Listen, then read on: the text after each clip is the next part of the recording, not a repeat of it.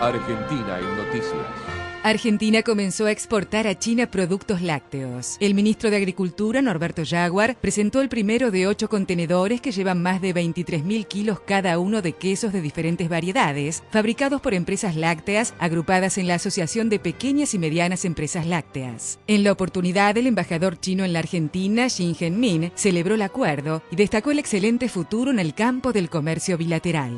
Ustedes tienen una visión a largo plazo, una visión estratégica.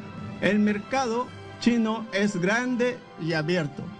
Y no solamente necesitamos soja y aceite de soja, necesitamos más productos del campo argentino.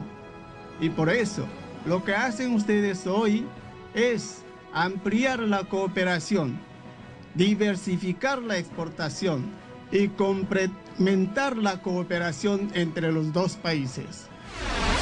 La economía creció un 7,6% en noviembre de 2011. Así surge del estimador mensual de la actividad económica que publica periódicamente el INDEC y es en términos comparativos con el mes de noviembre de 2010. De esta forma, el acumulado de los primeros 11 meses del año pasado mostró un crecimiento del 9,1% en consonancia con las estimaciones previamente elaboradas se completó el primer informe sobre niños y adolescentes sin cuidados parentales. Fue realizado durante 2010 y 2011, coordinadamente con el Fondo de las Naciones Unidas para la Infancia, junto a los equipos de la Dirección Nacional de Promoción y de Protección Integral y el aporte técnico de un grupo de consultores. Este año se publicarán los resultados del relevamiento que involucra a todo el ámbito nacional y servirán para profundizar y mejorar políticas y acciones de restitución de derechos y convivencia familiar.